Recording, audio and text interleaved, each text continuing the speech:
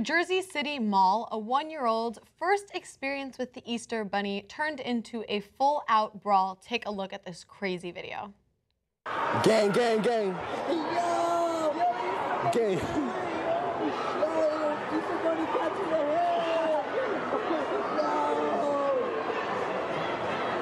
Yo, why are you so tight?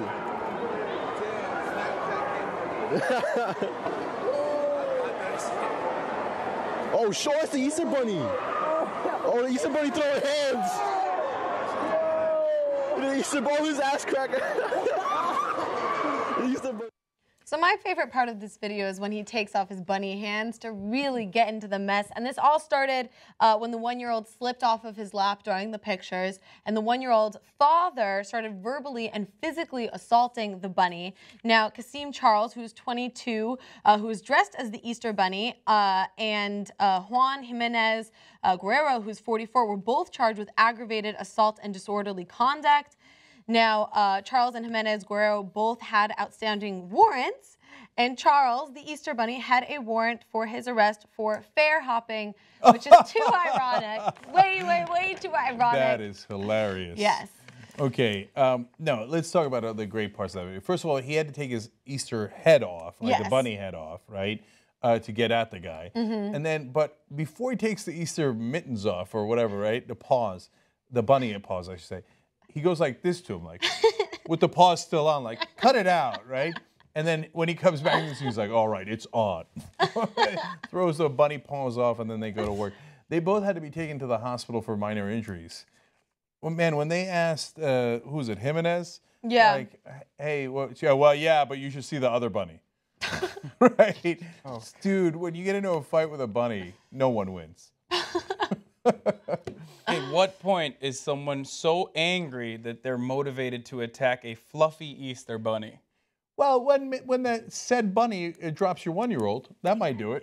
Okay, we don't know the exact details. we don't know, I'm just yeah. saying this is the most New Jersey story of all time, and it's this is the reason why I constantly am embarrassed that I went to school there and never mention that I'm from New Jersey and Except get you just did. upset. I get upset when you mention that you're from New Jersey. I love it. I'm Jer- I'm Jersey oh, strong, Oh, God. man. I'm It's Jersey just- proud.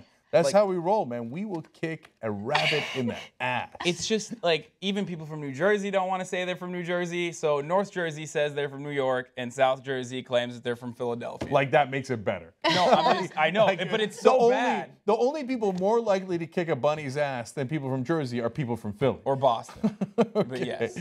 So fun for everybody. Yeah, I mean, in all fairness, when I first read this story, uh, I was like, okay, the Easter Bunny got mad. And look, like, we've heard stories where the Santa Clauses get upset because those mall characters, if you will, have to undergo through so much, right? So they're like constantly having kids on their lap. They're like snotty. They pee on them sometimes. Like I would be frustrated too. So if somebody started like verbally and physically assaulting me after I'm going through a full day of that, like A I full day I of might living in New Jersey. pause. on top of all of it, he's still like, oh man, I'm still in New Jersey. Like I still haven't been able to get out. No, just seriously though, like the immediately as soon as I read this, I was like, two, definitely two Guido guys, and Guido doesn't necessarily have to be Italian.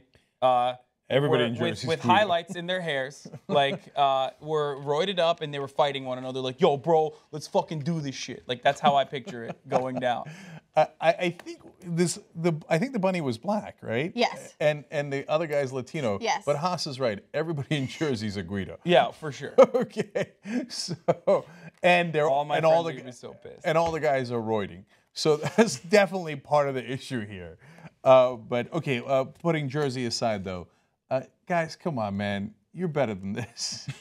don't don't attack Santa. Don't attack the Easter Bunny.